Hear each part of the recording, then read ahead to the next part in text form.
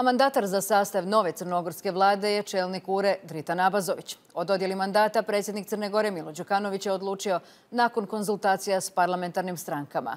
Navodi kako su ga Abazović i njegovi politički partneri uvjerili da imaju nužnu većinu za izbor nove vlade. Đukanović je naveo kako očekuje da se u Skupštini u što kraćem roku odluči o programu i sastavu nove vlade.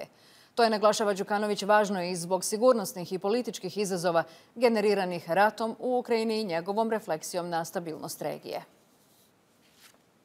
I uživo ćemo do Podgorice, ondje je naš Ivan Pavković. Ivan, evo, kako se odvijao ovaj proces do potvrde novog mandatara? Koliko je izvjesno da se sada politička situacija u Crnoj Gori stabilizira?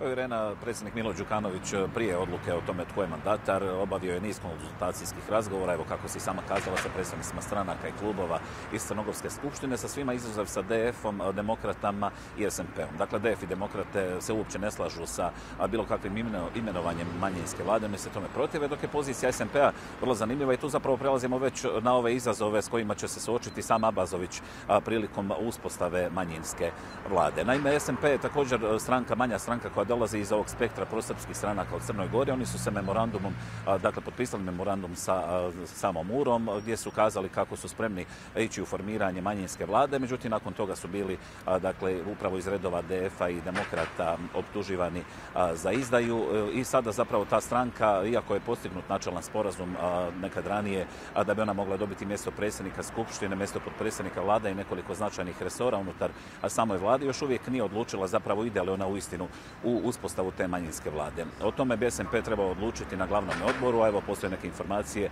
odnosno da je upitno koliko je zapravo njihovo članstvo na nižim razinama je spremno takvo što podržati. Drugi izazov s kojim će se susresti Abazović je zapravo i stav DPS-a. Naime, ranije je DPS govorio kako mu je prihvatljiva ta ideja da se osnuje manjinska vlada u kojoj ne bi bili dakle, ministri ili pripadnici DPS-a i DF-a. Međutim, nakon konzultacija te stranke sa predsjednikom Đukanovićem, koji je i čelnik stranke, oni su kazali kako se zapravo stanje promijenilo nakon izbijanja rata u Ukrajini i da bi sad zapravo trebalo biti poželjno da Crna Gora dobije ne manjinsku, već političku vladu i da svi oni koji će je poduprijeti trebaju u njoj i biti. Dakle, zainteresirane su za ulazak u samu vladu. Iz URA su to odbacili, kažu kako ako žele to napraviti onda da vladu zapravo grade sa nekim drugim, ali evo oni su dakle kazali kako kao krajnje rješenje ipak ne odbacuju mogućnost dakle uspostave manjinske vlade da bi je mogli podržati. To je kazao i sam predsjednik Đukanović, a i analitičari vjeruju kako se zapravo tu više radi o jednom političkom manevru osiguranja što boljih pozicija oko pregovora, dakle uspostave manjinske vlade. I treći, a i čini mi se i najveći problem s kojim će Sabazović susresti je zapravo blokada same Skupštine. Na čelu Skupštine je potpredsjednik, dakle dosadašnji potpredsjednik Skupštine iz reda DF-a Strahinja Bulajić i on odbija sazvati sjednicu Skupštine na kojoj bi se razgovaralo bilo o imenovanju novog predsjednika Skupštine, bilo o izboru nove manjinske vlade. Kaže da je spreman sazvati sjednicu samo onda ako se takav dogovor postigne unutar postojeće, dakle dosadašnje parlamentarne većine u kojoj je i njegov DF ono što pravnici sada dvoje, postoji nemogućnost da drugi potpredsjednik, dakle, a to je Ervin Ibrahimović iz Bošnjačke stranke, sazove tu sjednicu. Jedni kažu da takva mogućnost ne postoji.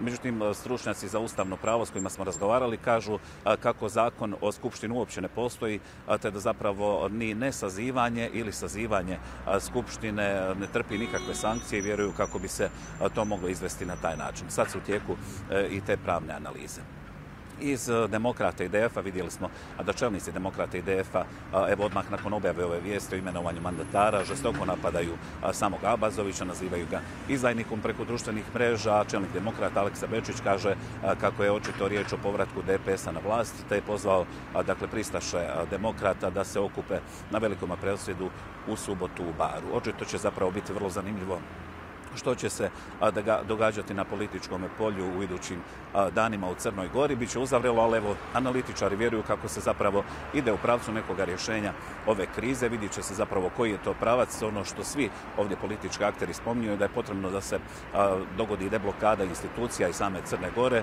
a pogotovo zbog ove globalne situacije koja je izazvana ratom u Ukrajini.